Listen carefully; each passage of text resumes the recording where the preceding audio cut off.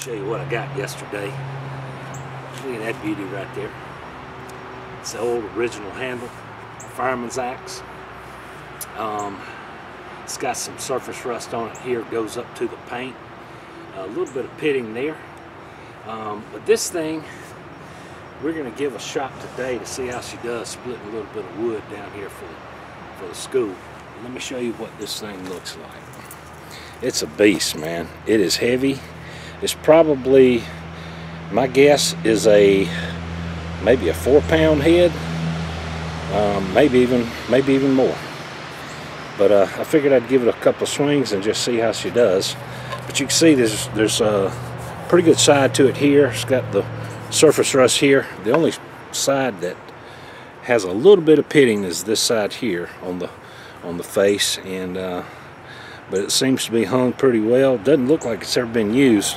There was a label on this thing right here um, at some point. You can see where it was glued. I don't know what kind of axe this is who made it um, the maker anyway and uh, but we're gonna just see how she chops. The handle uh, paint's about gone on the end down here. I will say that it's checking right through here a good bit. Um, so I may end up having to replace this handle, but we're just going to take it straight out of the antique store and uh, give it a few swings.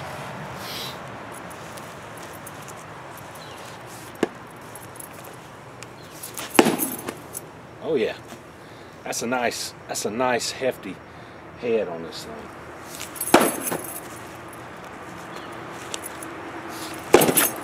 Woo! splitting that red oak like it's like it's not even there.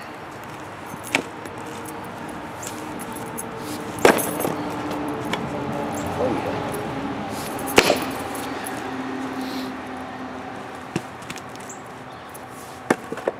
And uh, never never chopped one in a wood yard, but uh, looks like the head's slipping a little bit, so I may have to stop in a little bit to uh, wait and get that thing tightened down. But uh, I'm guessing, you know, you might could use this as a pick run.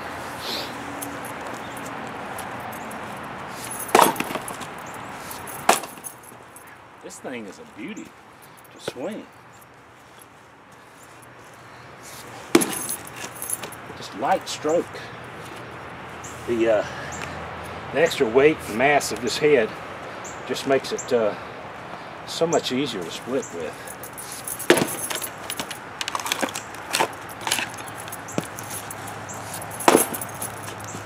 I'm not taking full swings, really. Just kind of letting the head do the work.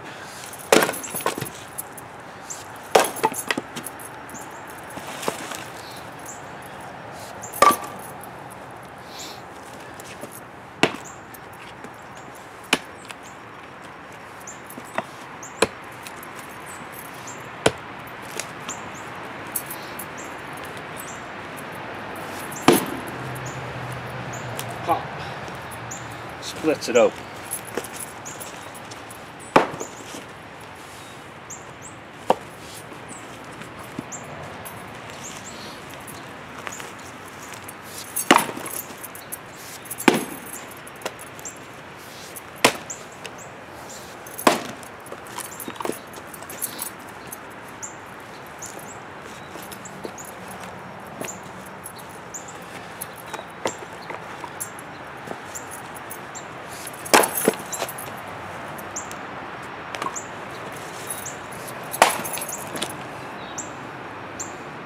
You, this thing right here is doing uh, doing a fine job on the splitting.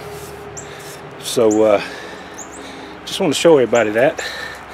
I will uh, try and get all this rust off here, tighten it up a little bit on this side, take the rust off the point, see what I'm going to do on the handle.